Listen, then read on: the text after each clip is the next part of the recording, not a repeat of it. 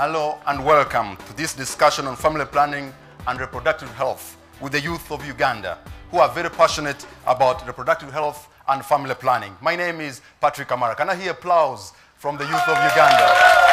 Thank you. Those are the youth of Uganda and we are streaming live for the global audience. I welcome you all. Our Twitter handle is hashtag AskSRH4YP. So you'll be following us and maybe sending your comments and your questions. Tonight, ladies and gentlemen, let me introduce our panelists. Let me begin with our first panelist, ladies and gentlemen. He is the Regional Director for Partners in Population and Development Africa Regional Office. He, is, he was until February 2007 the Director of Uganda's Population Secretariat. He served as Senior Lecturer, Department of Obstetrics and Gynecology, Makerere University Medical School, Uganda. He has also served as a consultant obstetrician and gynecologist, Mulago Hospital. Our first panelist is a former president of Uganda Medical Association, as well as a former board member of PPD representing Uganda. He has also served as a board member of Uganda's National Planning Authority, Africa Population and Health Research Center, Kenya, as well as the Population Council of New York. Our first panelist won the 2013 UN Population Award. His main interests have been in population, family planning, reproductive health, as well as HIV AIDS. Ladies and gentlemen, put your hands together for the Regional Director for Partners in Population, Dr. Jotham Musinguzi. Our second panelist is the State Minister for Primary Health Care in the Ugandan Cabinet. She was appointed to this position on the 15th of August 2012. She's also the elected member of parliament for Tororo district representing the women. She has championed the campaign on teenage pregnancy and is a strong advocate for adolescent sexual reproductive health. Put your hands together for Honorable Sarah Opendi Ocheng. Our third panelist is a physician and public health expert. He became the fourth executive director of UNFPA, the United Nations Population Fund. He's also the Undersecretary General of the United Nations. Before this appointment, he was Nigeria's Minister of Health. Prior to that, he was Director General of Nigeria's National Agency for the Control of AIDS, which coordinates HIV and HIV and AIDS work in a country of more than 160 million people. He's a qualified doctor from the University of Ibadan, Nigeria. In 1972, he went to the University of Birmingham, England, where he got a doctorate in medicine in 1979. He was appointed professor at the University of Ibadan in 1980 and headed the Department of Clinical Pathology before being elected provost of the College of Medicine in 1990. Years later, our third panelist served in several organizations, including as the chair of the National Action Committee on AIDS from 2002 to 2007. He received the Nigerian National Honor of Office of the Order of Nigeria in December 2005. He has introduced major reforms to make the UNFPA more focused and results-oriented, as well as intensified efforts to promote the rights and ability of young people to build a better world in the context of sexual and reproductive health. Ladies and gentlemen, welcome with me our third panelist, Dr. Babatunde Osotimehin, UNFPA Executive Director.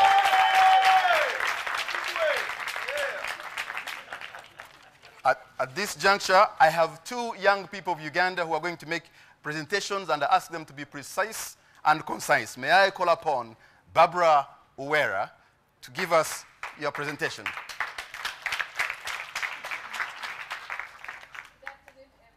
All Ugandan policymakers and decision makers have been urged to renew their commitment and accelerate, and accelerate implementation of the Abuja Declaration that encouraged the increment of 15% towards the national health budgets.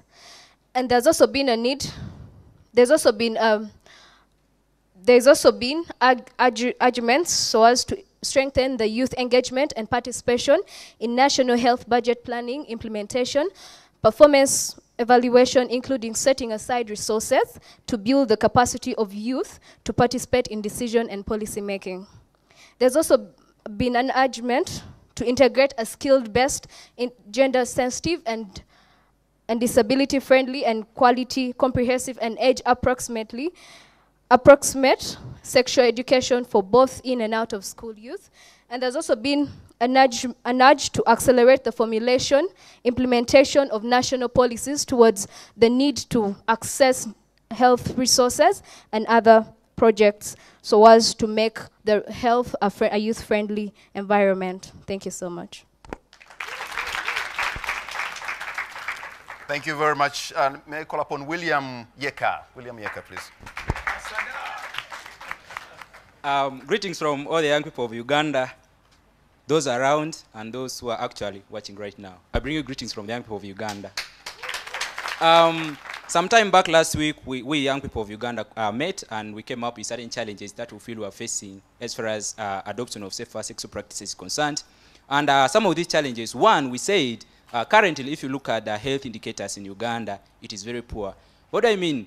Young people said, currently what is happening is there are a lot of, uh, there are increasing cases of HIV prevalence in Uganda, and this is something we see as a challenge, especially if we look at our health. So this is one of the challenges we actually we young people encounter in Uganda.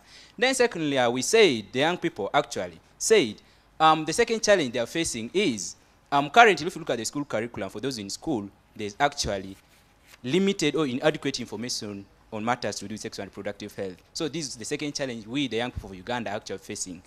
Then thirdly, we again said, we, the young people of Uganda, when we met, we said another challenge we are facing is we're having inaccurate information on matters to do with sexual, on matters to do with sexual and reproductive health. In this case, there are a lot of misconceptions to do with family planning, misconceptions to do with uh, pregnancy. That's why for those who work in areas to do sexual and reproductive health, you find the young people saying that actually when you have sex, the, when you have sex in water or in the river, you're not going to get pregnant. So this is because of what? Inaccurate information. So this is one of the challenges we, the young people of Uganda, are actually facing. Then another challenge we, we the young people of Uganda, are facing is uh, uh, there's a lot of unemployment, and that is something I don't need to explain because everyone knows what is happening in Uganda. So because of that, we're actually unable to have access to sexual and reproductive health services because it's to do with family planning. We may want to buy pills, we can't afford them. And we're saying that this is a big challenge. That is why, actually, when you talk about sexual and reproductive health, these are things we may not afford, and sometimes those who afford actually don't have adequately adequate facilities on matters to do with their sexuality. Then finally, another thing we're facing is we said um, we actually don't have adequate uh, sexual, uh, sexual and reproductive health services. When you go to this uh, family plan, when you go to health centers, hospitals, um, we don't have family planning clinics. Those which are there are actually not operational. I think those who have ever gone to health centers or who work in the line of health know what is happening. So that is a big challenge we're facing. That's why we felt that we have to put them forward so that the policymakers can help us address some of those challenges in order to have a very good health. Thank you so much. Thank you. Thank you, Barbara and William. Uh, you've made your points. Your points have been heard. Now let me turn to the panelists. I'm going to begin with Dr. Jotham to respond to the issues that have come from Barbara and William. Jotham. Uh, thank you very much, uh, Mr. Moderator, and uh, I'm very excited to be here to engage you young people. Some of you, I saw you a couple of days ago when you were doing your uh, pre, pre-youth conference, and uh, uh, I was excited to participate in that.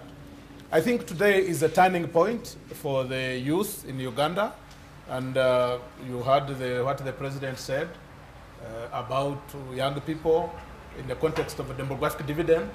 We'd like to make sure that indeed, as you have heard, uh, I think the chairman of the National Planning Authority made the point to the president, to the audience, to the ministers of health, the executive director of UNFPA, that people do not have access to quality reproductive health care. They don't have access to family planning supplies.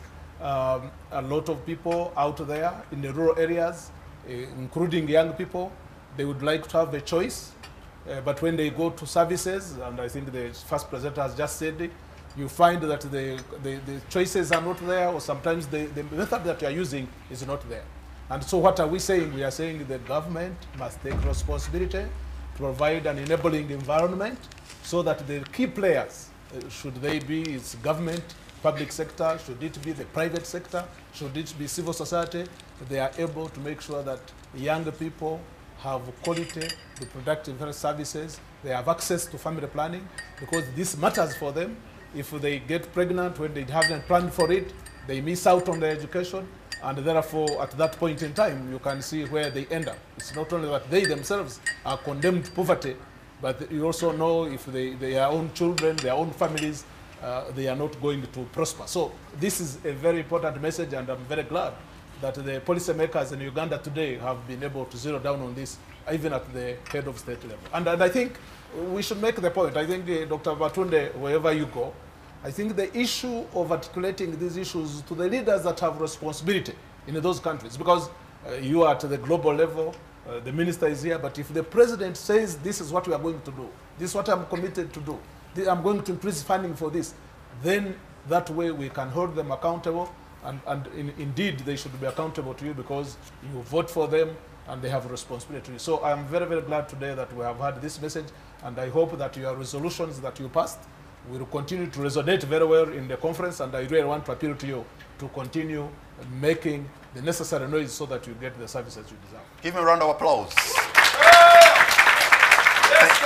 Thank you very much, Dr. Jotham Musinguzi. Let me now turn to Honorable Sarah Opendi because the issues William and Barbara raised are concerning governance and leadership, and then maybe they need executive decision. Honorable Sarah. Uh, thank you very much. It's a pleasure for me to be here speaking to the youth, and especially at the time when we have just launched the campaign against teenage pregnancy.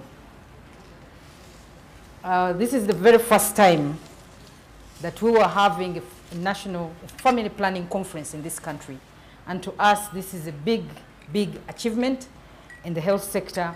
And this definitely is the beginning of our campaign to end the teenage pregnancies, our campaign to increase um, access to family planning, and our campaign to ensure that every child born in this country is not born by chance, but born by choice. Uh, as you all heard, the youths in this country, you have met and you have raised various challenges. True, there has been inadequate information that is provided to the youth, and this is basically because we have not had adequate youth-friendly services at the health centers. Government has done its best to ensure that we have health facilities at the parish level, we have health facilities at the sub-county level, and of course, we have also ensured that we have staff who are employed to attend to the mothers and all those who may go to seek for services, especially services regarding family planning. Unfortunately, as indicated, true, we have not been able to create the youth-friendly services that we have all been talking about. Last year, we did commit, as the Ministry of Health, to have these services available because we do realize that the youths feel more comfortable to go to a place where they will find other youths other than going to a facility where they will find their mothers and they are all seeking for the same service. So government is committed providing um, these services at the uh, facility level. We have all committed ourselves to find uh, a corner for the youths at the health facilities, but of course, we cannot do it all at a go, but we are committed to this. And of course, um, contraceptives are available. The government has increased funding. As you have all heard, the president made a commitment in the London summit in 2012 to increase um, contraceptives, to increase funding, to ensure the commodities are available, and this has been done. We have now increased funding to a tune of, I think, 6.9 million US dollars currently, just to ensure that we have the family planning commodities. And the good news that I want to give to the youths, these contraceptives are available free of charge. So those who, uh, contrary to what was indicated, that uh, you cannot afford because you are unemployed, please, the contraceptives are available at the health facilities and they are given free of charge. So please take note of this. And of course, the whole purpose of this family planning conference today is to scale up uh, the family planning services, scale up the use of contraceptives in this country so that we can have healthy mothers and also, most importantly, have healthy children in the country. You, as the youths, are, of course, the future leaders of tomorrow. Statistics actually indicate that most of the youths in this country start sex as early as 14 years, 13 years, which is extremely dangerous. And most of it is sometimes even unprotected. You end up contracting HIV AIDS, but also the danger of getting pregnant when you're still young. And of course, it comes with other challenges, like challenges of fistula, uh, challenges of obstructed labor, which results into death, and of course, even disability in some instances. So our appeal to the young people who are here seated and those who are listening to us, please have protected sex. Most importantly, ensure that you do not have sex and end up getting pregnant and also end up going into abortions, which are also claiming most of the young people in this country.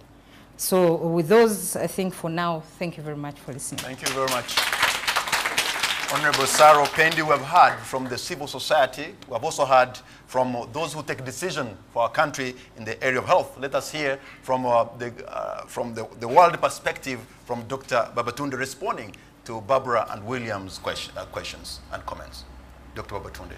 Well, thank you very much, Mr. Moderator. Let me also thank William and Barbara for giving us uh, feedback of the conversations you have had. Um, and I want to say that uh, these are conversations that I'm very familiar with because I've been to many of these meetings and I've had this kind of feedback. Uh, and I want to congratulate the government of Uganda for the positions they have taken and the progress that has been made in the last uh, two, three years in this country. So we're at a cost uh, in this country to go forward and do something really dramatic. Now, and you are the people who can do it.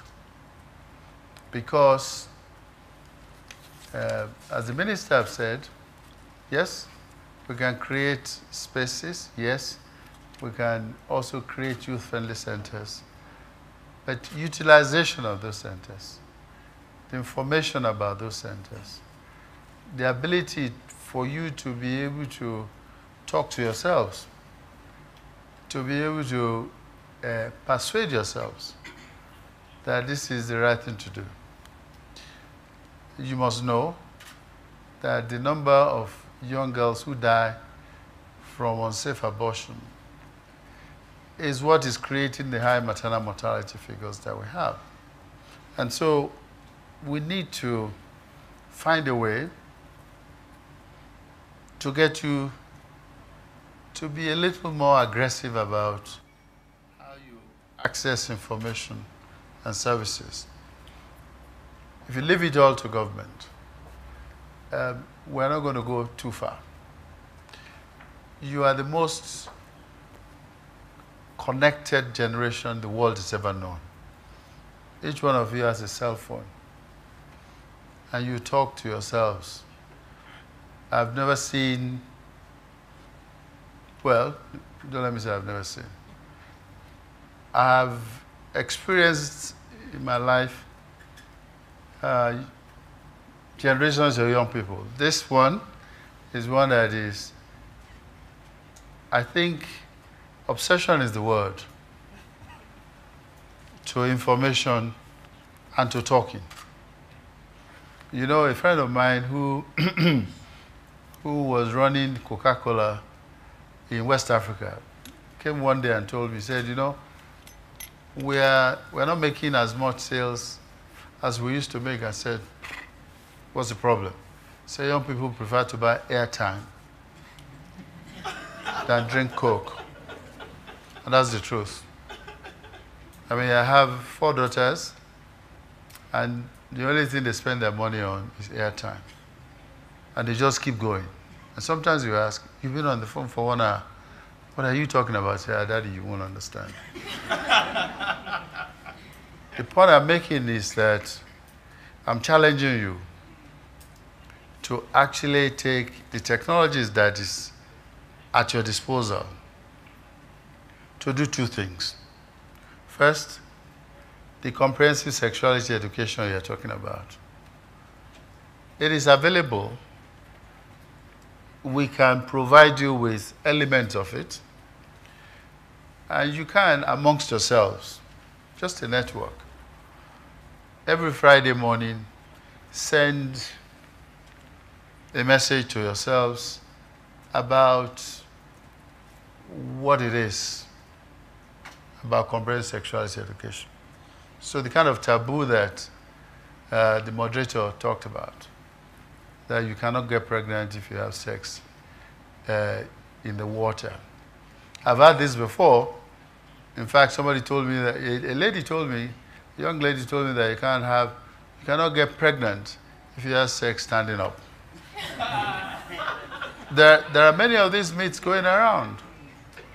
But if we are able to create uh, uh, some kind of information uh, network amongst you, which we can help you to do, to pass information about comprehensive sexuality education.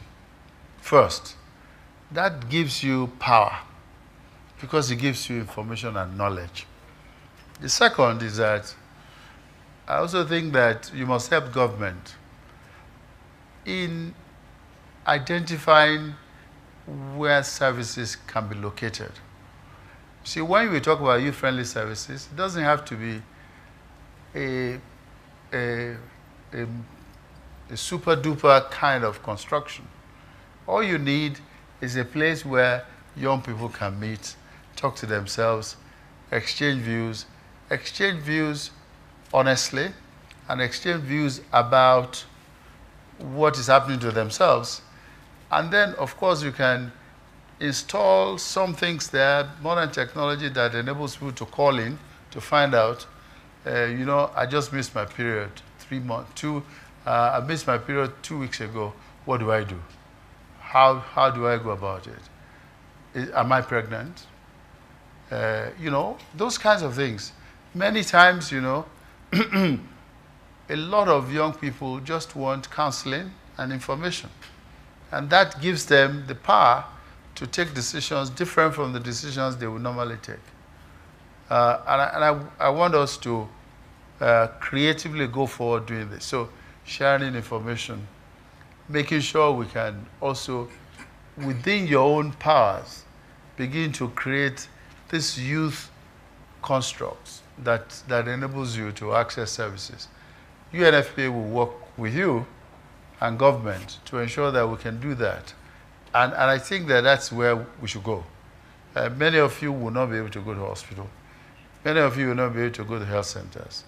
But if it is, uh, if it's William that is there, you go because you can talk to him. You know, if it's Barbara that is there, you will go because you can talk to her. And I think that's what we need to create because that's the solution that we're looking for. Thank you. Thank you very much. Yes, Dr. Batunde has said correctly, are, you are the most connected generation he's seen. And you're always sharing information on your Twitter, on, on Facebook, and everywhere. What are you talking about? What are you sharing? Now, this is your opportunity to give a question or your comment, please make it precise and concise. And for our global audience, you can send our uh, our hashtag is ask SRH4YP so that your question too can be read here and you'll be answered. So let me take the first three questions from you and please urge you to be precise and concise. I'm going to begin with a gentleman in a black suit and a lady at the back and then uh, a gentleman seated here. Uh, somebody to give them a microphone very fast. Tell us who, your name, where you're from, and then keep it very short. Thank you. Uh, my name is Kavili Ali. I'm a youth activist and I work with the Forum for Women Democracy Young Leaders Alumni Association as the president. And I also work with the Uganda Youth Network as a program assistant within the youth policy advocacy component. Uh, my question is about youth inclusion and participation, especially in decision-making spaces. Much as we are discussing more about you know, how young people can access information on sexual and reproductive health services, you realize that when it comes to decision-making spaces, when it comes to policy formulation, young people are not always involved in these uh, decision-making spaces and policy formulation for that matter. My question is, how can young people be invested in so that they can meaningfully engage uh, within the policy design, policy impl- uh, implementation uh, platforms, as well as uh, monitoring and evaluation of these programs? Thank you, Ali. You have made your point. Whom are you asking that question? I just pose it to the Okay, entire thank you very much. And the lady at the back, if you can also be precise. Okay, and thank you very much, sir. I just have two Your questions. name and where you are from. My name is Barbara Kemigisa. I'm an HIV AIDS activist. Uh, I'd like to ask the Honorable, first of all, yes, the government has promised us the youth-friendly services. Ever since 2009, when I tested HIV positive and I was pregnant by then, I did not get the friendly services. Since then, I've been hearing of the same thing, unfriendly services. My question is, when are these services going to be given to us? Because people have been promising, they never give us the when factor. As activists, we are going to keep on telling you we are tired of bad services. I don't know if you're going to be able to handle us for all Thank that you. time. Thank you, the Kemigisa. second question is, One, we are about 30 people. Everybody's going to ask a question. May I ask at the moment you take one question? If you have a chance, we'll come back to you. Thank you, Kemigisa. Give a round of applause. Yes, sir. Thank you very much. Uh, my name is Kazwe Michael, working as a youth coordinator, Chisugu Health Center. Uh, my question specifically goes to Dr. Babatunde. He's talked about uh, the current form of information giving, and it's like every youth is able to get information. But now maybe this could be something for the people around town. Now, how are we going to pass on this information to the rural areas? Because I believe that I've worked in community and I've seen so many young people suffering because they haven't gotten or the information has been not disseminated to them, yet they are the most vulnerable groups of people. Thank you very much. This information thing could be just a town issue, and yet in the villages in Kaberamaido and Karamoja and outside Uganda, perhaps information is not being shared like it is here. Uh, let me begin maybe with Dr. Babatunde because the last question came to you. Thank you very much. I, I think that you underestimate the power of the cell phone. Because I, I, I don't think it's, a, it's an urban phenomenon alone. People carry cell phones everywhere in Africa now. And I think you, when we talk about passing information, we're talking of, we're not talking of smartphone information, we're talking of information that you can actually send on a text message. Now that's the first. The second, of course, is that I know in Uganda, like in every African country, that we do have ways of passing information to ourselves.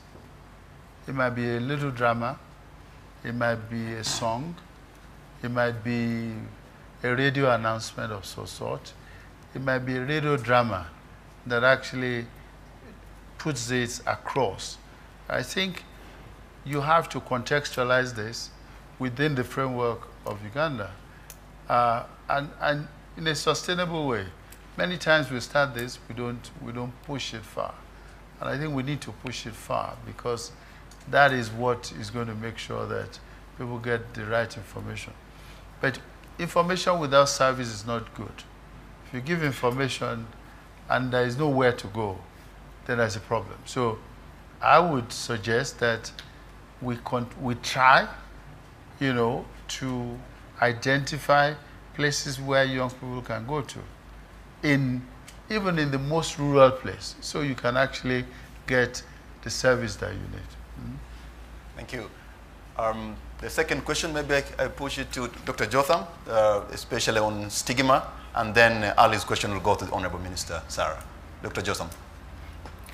Well, uh, I think uh, Barbara was asking, I think she asked the minister who should uh, be able to speak about that because I think it was very, very specific. Uh, so if you don't mind, let me talk about uh, inclusion of young people, the one which came from the Uganda Youth Network. And uh, I, I hear you, I hear what you are saying, and, and I think there has been uh, a lot of frustration uh, from the young people in terms of how they can be mean, meaningfully involved in the policy formulation and, uh, and decision making. And, uh, but I also think that uh, there have been opportunities. For example, if you look at uh, what is happening in this country, you as young people, you have your own elected members of parliament. They, are, they speak for you in the parliament. But I think what you could also do is really to ask them to help you in things that concern you on day to day. Because I know when you elect members of parliament, they go there, they are going to go and speak uh, to, they are speaking to the speaker, to the president, in their caucuses. And I think they tend to let you, you down in terms of looking at your real needs, everyday needs. For example, your, your own education. What is it that is bothering? Education, U, UP is there, universal primary education. But how come that uh, a lot of young girls are dropping out and nobody seems to be picking this up? This country established UPE in, 19, in 1997. But we also know, recent studies have shown that only about 23% of, of, the, of the girls eventually complete primary. What has happened to all the rest along the line? These are questions that you need to ask your own leaders whom you have elected to be able to get involved in so that you get answers to these questions. And, and I think you should not underrate your own power because with education, and Babatunde keeps talking about the cell phone, this, these are powerful instruments, powerful tools that you can use. Uh, young people of your age, uh, when I was growing up, we didn't have these type of advantages. But we still had these questions. We know we are not being involved in terms of decision making. And so the time is now. You are more knowledgeable, you have more communication, you have better networks, and I think you should work those networks. You should use your elected people to make sure that you are received at the table and you make your points very clear. And I know you also have knowledge about what works. The research is there, evidence is available. And uh, I was also at your uh, pre-youth uh, conference a few days ago, and I heard your resolutions. And your resolutions are real concrete, Honorable Minister. Uh, these young people took resolutions which, if you bring in this conference and you take them forward, you follow them up, you are going to make a difference in the programs that are yes. made for you. Yes. Thank you. Thank you. Honorable Sarah. Okay, thank you so much. Um, allow me to add my voice to uh, Dr. Musinguzi's. The inclusion of youths. There is no policy that can be made in this country without consulting the key stakeholders. All policies that have been made, government has endeavored to consult all the key stakeholders. So what concerns youths, there is always consultation. Some of you may not know, not all of you can be uh, invited, but some of your leaders are always engaged to make a contribution to whatever policies that we have in this country. Um, so we have been engaging you through your leaders, through some of the organizations that do exist, that promote youth services and youth activities in this country. Um, on matters of HIV AIDS, I believe, of course, with support from partners, we have attended various uh, meetings, not only in this country, but even abroad.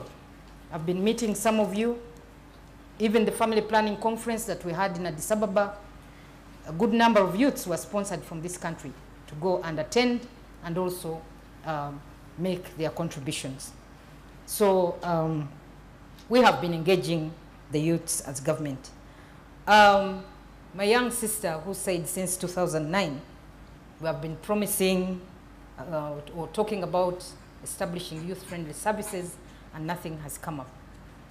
I strongly, um, well, I don't want to say that uh, we have been providing lip, lip service, but since I joined the ministry, one of my core activities is to ensure that we have these youth-friendly services established.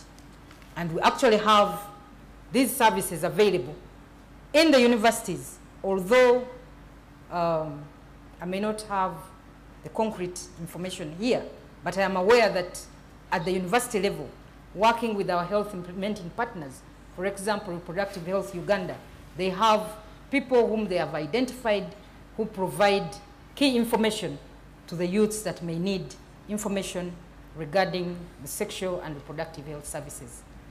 We have also, of course, within Kampala, we have uh, services available at Naguru for the youths, where the youths have been going and receiving whatever information they, they want, whatever services they, they, they, they need.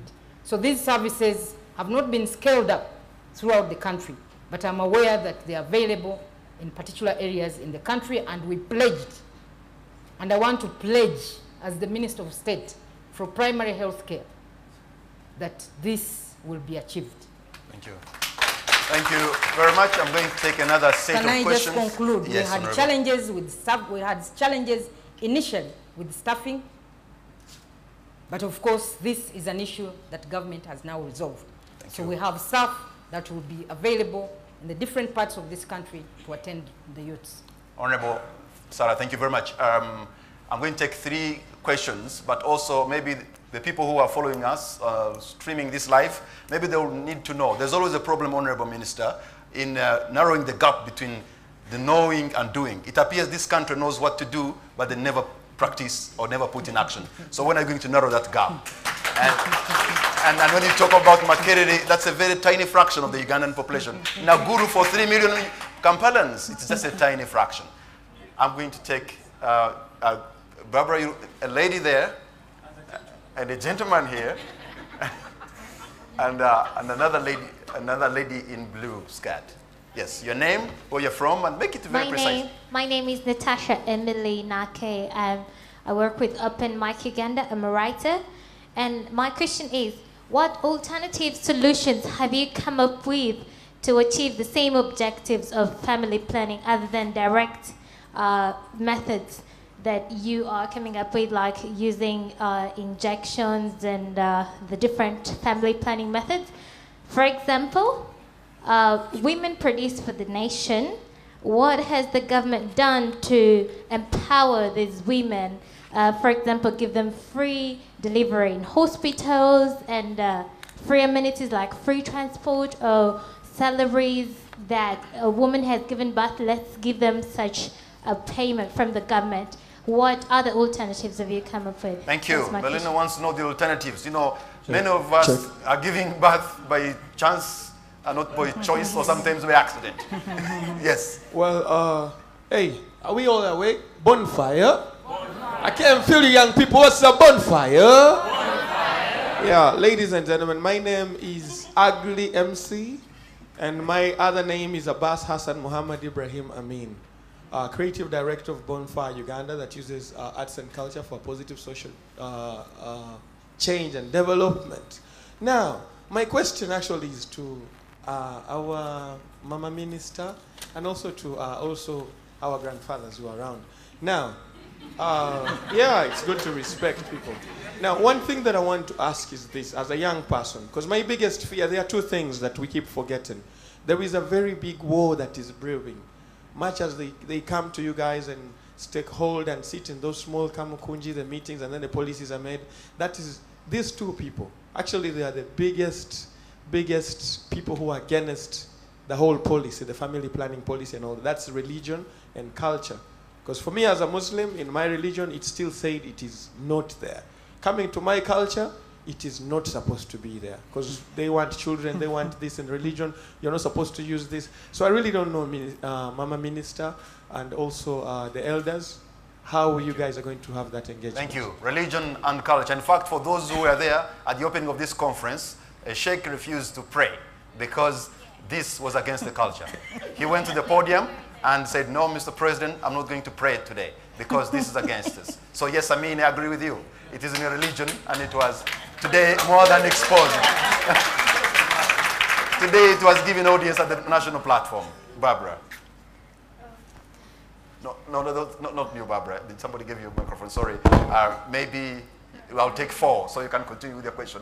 I'll take four questions. So please. Thank you. I'm Barbara Wera, a volunteer with RHU. RHU. Um, we've realized that our biggest problem is implementation of these policies. Fine, they've been formulated, but it is all around implementing them. We've talked, we've talked, and we are still talking. But my question is, are they going to be implemented? Is someone going to act instead of just listening to our questions? If it means financial im- implications, then because this change starts with us, then we are willing to go that extra mile to make sure these policies are implemented.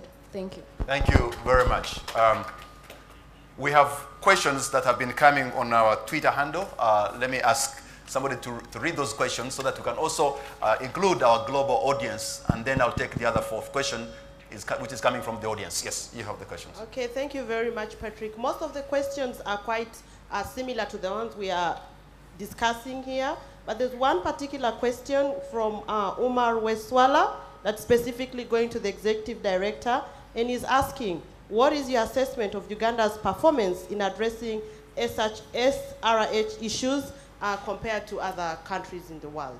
So I think uh, we can continue to take some of the questions as we screen, and then we'll get that was going you. specific to the executive director UNFPA. Let me take the fourth question. That was a lady in pink or purple. What- You had your arm up.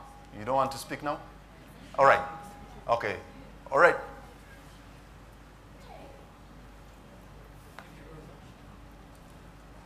Hello? Yeah, thank you very much. Um, my name is Patrick Mwesigye. I work with the Uganda Youth and Adolescent Health Forum. And I'd like uh, to, my question to go straight to the Honorable Minister. And I'm quoting right from the Adolescent Health Policy Standard Service Guidelines that uh, were designed in May 2011 that still provide for provision of youth-friendly services right from lower health facilities, health center twos, threes, fours, district hospitals, regional referrals, and the referral, national referral, uh, whereby, yes, government has committed. Right now, you have committed to provide, you have committed to provide youth-friendly services. But for the last many, many, many years, we've not seen a financial commitment in the health sector budget to actually uh, uh, establish and operationalize or functionalize youth-friendly services at our public health facilities. So would like you to, to assure the young people uh, across, the, across the country, especially with their representatives who are here, that in next year's budget, especially the budget for 2014-2015, that there will be a budget line for adolescent health, and then we shall surely guarantee our government votes, or else it will be a problem. Yes, because it has been a provision, it has been a commitment for a very, very, very long time. So we want to hold you accountable. And we know that for you to be able to provide these services, there must be a budget line. And so just assure us that we're going to have a budget line for adolescent health, specifically for establishing youth health centers at public health facilities, and also making them functional by providing health workers that can provide Thank youth-friendly you, services. Patrick. You've been Thanks. super focused on that point, Yeah, and sure. I think the minister's had. So let us begin with her because she had most of the question directed towards you, Honorable Minister. Your, your response. Okay, um, the issue of the religious and cultural leaders and how we are going to engage them.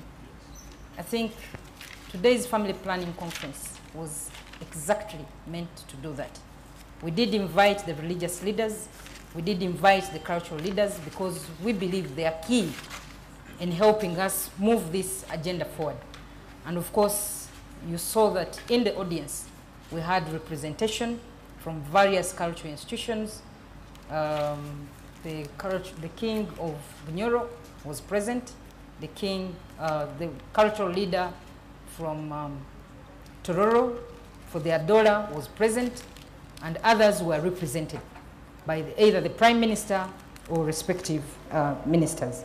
So the whole purpose of this conference is to re-engage all the stakeholders in this country.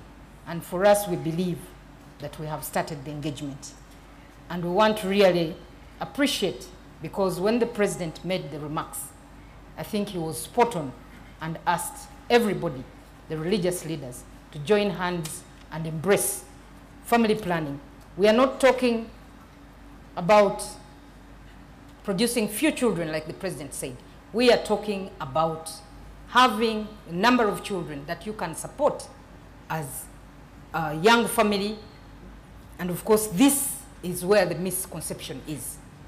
What is the point of having so many children that you cannot feed, that you cannot educate, that you cannot even provide for basic items that they need in a home? The young girl from, from Gayaza, I think summed it all. You all heard what she said. I don't need to repeat it here. So this, the purpose of this conference, and as I did indicate, this is the very first time that Uganda as a country is hosting this family planning conference to re-engage the leaders, to make them appreciate the reason for family planning and to make everybody appreciate why we should have a population that is healthy and a population that is productive. So for us, I think we have almost achieved what we want. We're going to continue engaging them so that we can be able to move forward. This conference is for three days. We expect to still be talking to the religious leaders. Of course, some of them may not be here, but we believe their representatives will be here. And on Wednesday, that is where the key statements will be made by all the various stakeholders. The religious leaders, we hope, will be able to make a statement. The cultural leaders will make a statement. The political leaders, and all the others. Um, Barbara did indicate, are we going to act? We are talking, talking, talking. I think we have started acting. We have started acting. If I give you statistics, before the NRM government came to power, just 3% of the population was using contraceptives in this country. 3%. Today, at least we have moved that to 30%. Isn't that an achievement? And now we are committed to move this even further. And we want the unmet need in this country, which currently stands at 34%, to drop to zero. So that every woman, every young woman, the youths inclusive, that needs contraceptives should be able to access them. We are talking of full access and full choice. So we have started acting, we have started implementing, and I strongly believe with support from my colleagues, because this is really my responsibility. I'm going to champion this with the support of my colleagues to ensure that we stop the lip service but act. So please, youths, I will only appeal to you. The contraceptives are available, information is available. For those who are in Kampala, we have even a youth desk at the Ministry of Health that can provide you with information. We even have toll-free lines that are available that you can call and also get information and expert advice. So um, we are moving in the right direction. Um, Budget line? I think The budget line, Honorable Minister. for the budget line, the 2014-15 budget is already drawn, and I want to assure you it is holistic. It covers the youths, it covers the mothers, it covers the children, and the adults. Government, it's our responsibility as government to provide health care to everybody that needs it and also provide family planning services to you. As I did indicate earlier, the president did commit to increase the budget to family planning services in this, in this country by 5 million US dollars annually, and this has been achieved. So, to me, I may not, for now, tell you that we shall have this specific line in the budget because the budget has already been made. But as I did indicate earlier, this budget covers everything. We know the challenges that we are facing. One of the challenges why we're not being having, why most of the mothers and the young people out there were not accessing service, family planning services is because of lack of staff at the lower health facilities. As I did indicate earlier, we have increased. Originally, from the assessment, we needed close to 10,231 health workers in this country. We, in the last financial year, managed to recruit 7,200.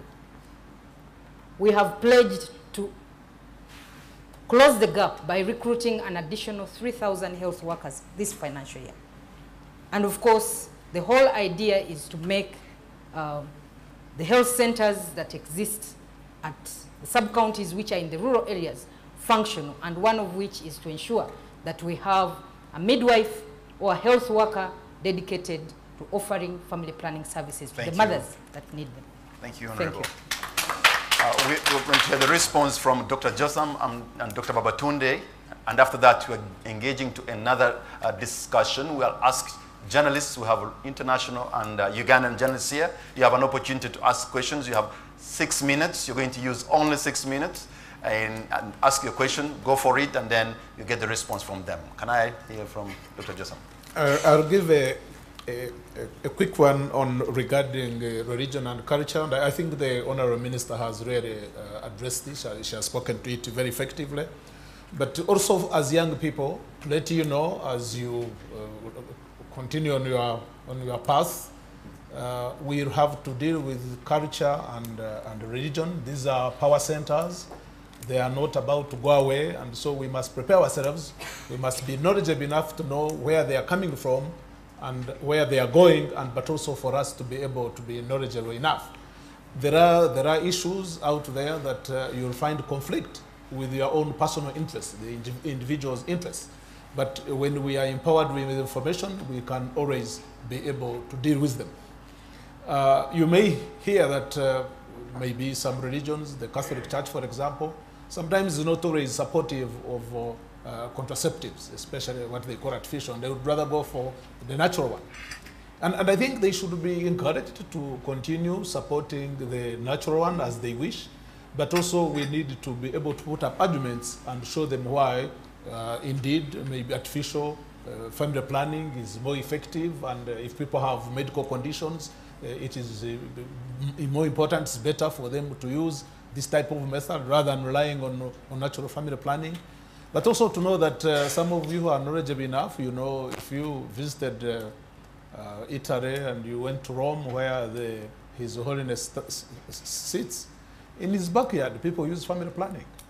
70% of people in Italy, they use family planning.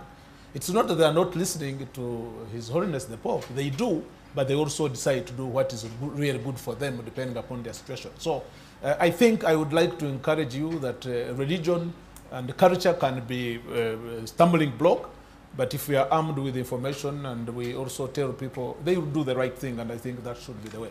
Thank you very much. Culture and religion are going to be here for some time. There's a, there's a question that Evelyn read from, I think, from the Twitter, and uh, it was directed to Dr. Babatunde. If you had to give Uganda marks, would you be generous or not? Well, in the line of business I'm in, I don't give marks to countries. But I can say, I can say one thing, that since 2012, when I first visited Uganda, in my current position as executive director of UNFPA, I've seen a sea change in the issues of family planning. We have the President of the Republic who has taken leadership on this matter. We have government that has put more resources to it. We have a Ministry of Health that actually is doing some wonderful work on the ground. We have partners on the ground who are motivated to try and assist government. Now, the issues of family planning in Uganda is similar to the issues of family planning in many parts of Africa. But I can tell you this much. To have a contraceptive prevalence rate of 30% is substantial because there are many countries in Africa that actually have 10%, 5%, 6%. So Uganda has moved on. There's a lot to do, much more than we had before. But I believe that with a population as vibrant as this, and you as young people, who actually should be the target of services, uh, we can make things happen quickly. Thank you. Thank you very much. Um, well, time is against us. At this juncture, may I uh, have um, journalists, local and international journalists, who will take each one of them one question. And no, no, one question because time is against us. I make it Um. Okay. Your Um, media house and where you're from. Dicta Simwe, the East African newspaper. The minister talked about uh, 6.9 dollars million million dollars. I think by now we should have moved. Uganda made a commitment in London to increase by five million dollars annually, or am I wrong? What happened? Thank you, Thank- Victor. Um, another question? Yes. Um, Caroline Ariba, New Vision. Uh, the question comes to, uh, I think, all of you. It's on teenage pregnancies. And I think the biggest challenge has been uh, us pretending that sex is not happening among us, our teenagers. So, how do we um, talk about sex in a way that doesn't, again, lure those that are not talking, that are not having sex? That is the question. Thank, Thank you very much. Children producing children in Uganda, that's very common. Yes. Thank you very much. Emmanuel from the Daily Monitor. Uh, I'm passionate about health reporting, and I'm going to say this from an experience I got. Uh, when I traveled to my home district, Kabale, I found a lady who had, had less, uh, left pregnant with a second child in a space of uh, two, two years. So I wondered, uh, isn't family planning here? So uh, I'm trying to say this. Why is there a disparity between the urban elite and the rural communities? And there is led, one lady who wrote in the, in the one of the dailies that as the, the urban are adhering to family planning, uh, the rural-based uh, citizens are not adhering to family planning. Are And- compensating for them, in other words. yeah, and uh, and who who will who will be there when the piece of the urban who are rich uh, are, are attacking those ones who have not produced and have the means. Thank you. So uh, we want a directed sense of family planning. Thank you. Um, th- there's two questions here, and that will be it. And uh, our panelists will respond to them. Good evening, ladies and gentlemen. Uh, My name is Dennis Kato. I work with CBS Radio. Uh, Dr. Uh, Sarah Opendi, I realized one, one problem here. Uh, when it comes to our friends, brothers and sisters that are disabled in one way or the other, our brother over there has a problem. He cannot speak. And we see it that uh, the government is trying to ensure that family planning services are delivered to all persons or to all Ugandans. What strategies have the government put in place to ensure that all brothers and sisters that are disabled get their health services, specifically in regards to uh, family planning? Thank, you so much. Thank you very much. Um, and the last one here. Please make it very precise. Uh, one question. Uh, pre- precisely, mine goes to the State Minister for Health. My name is Raymond. I work with Uganda Radio Network. Uh, Honorable Minister, you said uh, as part of your projections, you plan to increase more health workers. Now, um, take a close look at the Ministry of Finance allocations to you. The wage budget is going to remain constant, even in the projections for the next year, the next financial, which is 2016 2017.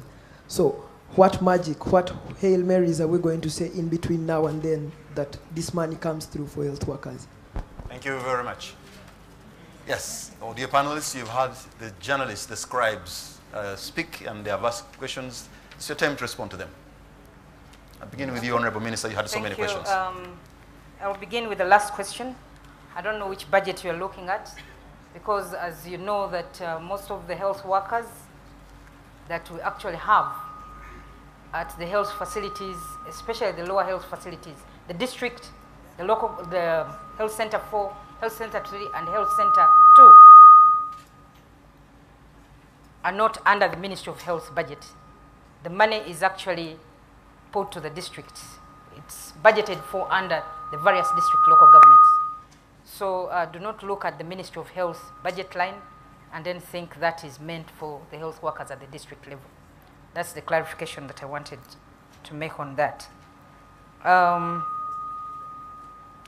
For the sign language, the point is noted. Uh, I think that is one area that we still have a bit of a challenge, but we're going to ensure that, um, because it's government policy to ensure that um, uh, everybody in this country actually accesses services. And of course, we must be able to communicate with even those who cannot speak. Um, the other was on the disparity between the urban elite and the rural. Of course, in the urban areas, people are a little educated. That is where the challenge is, and that's why we are talking about educating the girl child. Because we believe that once people, once a girl child is educated, she'll be able to make a decision on how many children she wants to have. She'll be able to understand the advantages of family planning. But when you have girls who are not educated, that's where the challenge comes in. But of course, as you're aware, government has the UPE program, the USE program, and of course now the University Students Loan Scheme, which is aimed at helping those people in the rural areas who cannot afford uh, to go to the other schools that some of us go to to actually access education. But also most importantly, we have the village health teams that are supposed to be based at the village level. We've had a bit of a challenge with the VHTs because ideally we are supposed to have five, VH, five VHTs per village. And of recent, the VHTs who have been doing a good job because most of them have been given information. They actually help at the village level with passing all vital health information to the people at the village level. Uh, of course, the key challenge now is they are doing a good job and they've been asking to be at least motivated with something. We have been giving them bicycles to help. We have provided bicycles actually to all VHTs across the country to help them move from one home to another. Uh, with support from partners, of course, they have also got some t-shirts so that they can be identified. And of course, I just want to inform you that government is now trying to review the VHT strategy so that we can have a stronger and well-motivated VHT to move to the various households, reach out to the various mothers and the young men in this country to provide uh, health information.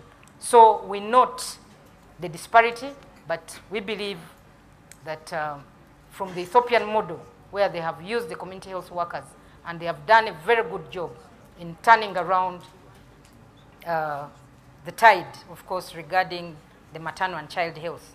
We believe that we are going to uh, use the Ethiopian model to improve on the VHT in this country.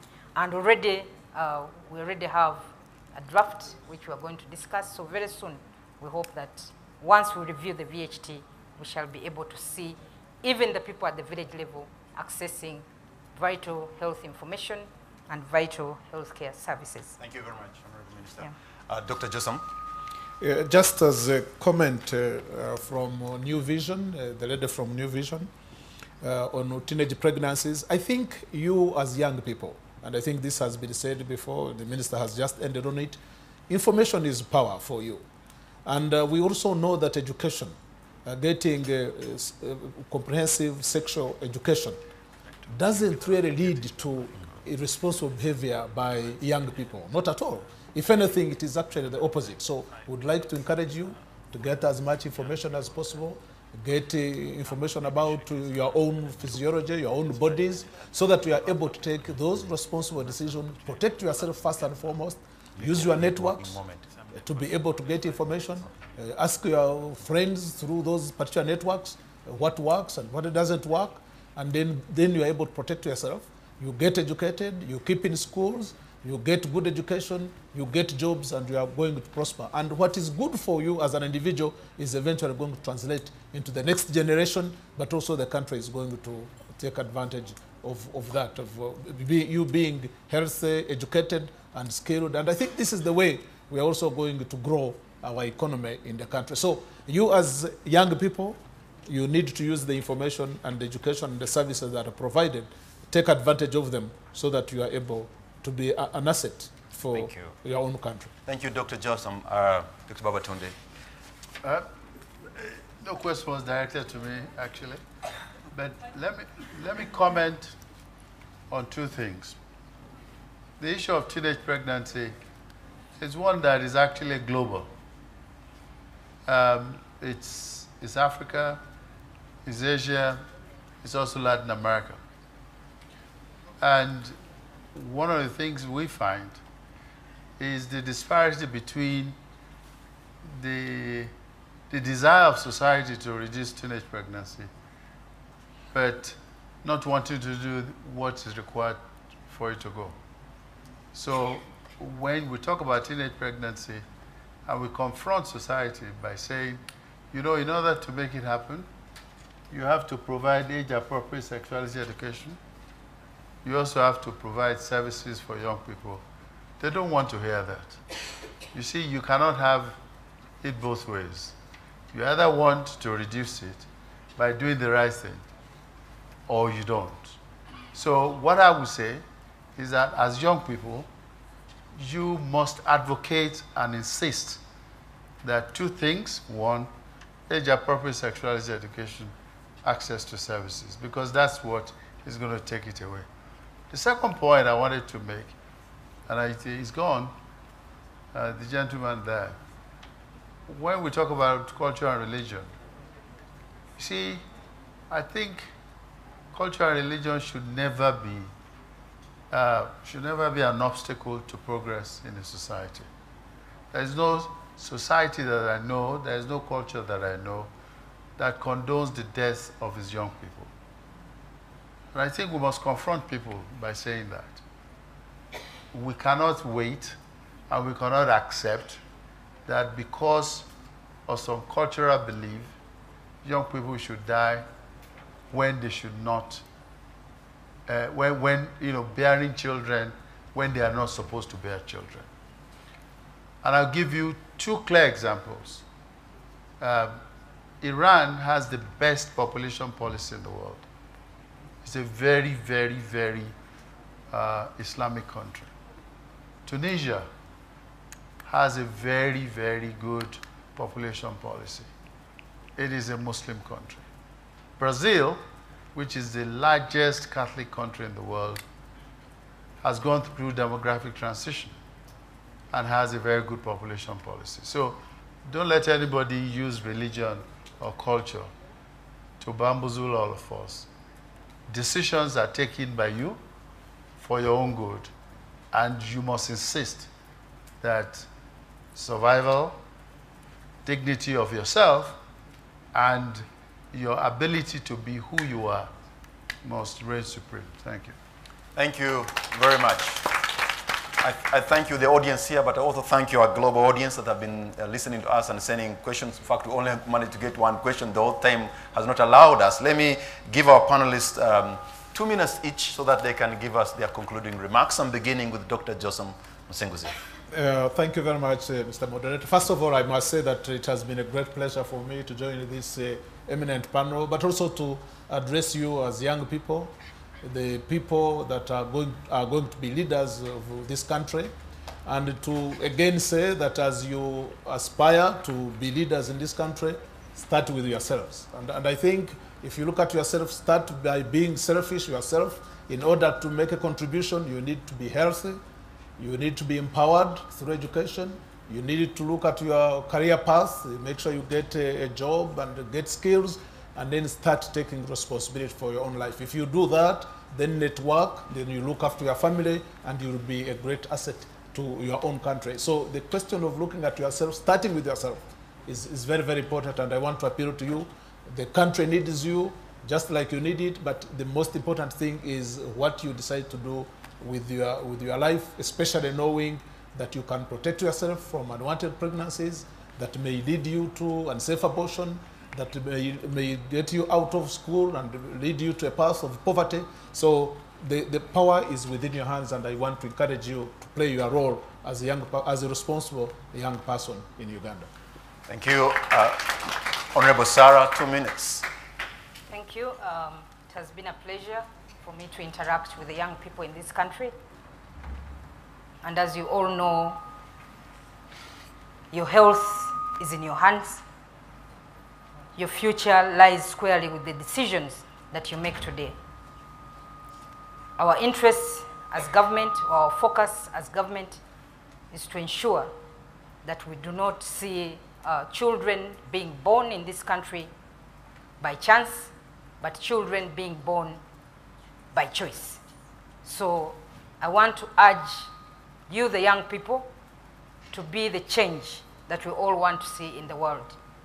Culture has existed, religion has existed, but when the young people are dying as a result of unsafe abortion, when the young people are dying as a result of, of obstructed labor, when the young people are losing their lives because they are trying to bring another life on earth, everybody is silent. So let us stop hiding our heads in the sand and trying to pretend, hiding under culture. The world has changed. We need to move on. Thank, you. Thank you. you. Your parting shot, Dr. Babatunde. Thank you, moderator. I, I want to throw a challenge to you, and this is something that I do everywhere I go. All of you sitting in this room today are very privileged. You're very privileged because you've been to school, you have education, you know where to go, you have choices. But you represent a larger population of young people who would never have the opportunity of even coming close to Kampala or Entebbe. I want you to commit yourself to reach out to at least five rural young girls, five, each one of you. Pass the information you have today to them, assist them if they need services, and mentor them so that they can stay in school and they don't get pregnant. If you do that, and they do that in a geometric way, you know you would have solved the problem of teenage pregnancy. Thank, you very much. Give them a round of applause. Let, let me, let, me, let me ask by a show of hands, how many are going to reach out to five girls in rural Uganda? Okay, some are, some are not going to do that. okay, only one is not going to do that. Thank you very much. You've been such a wonderful audience. Thank you to our global audience for being a part of this. And uh, these are men and women of substance who have spoken to you. You are also girls and boys of substance across Uganda. Thank you very much. And um, we have five minutes of networking after here. You- Maybe you can talk to the minister and talk to the executive directors, anything you want. Only five minutes.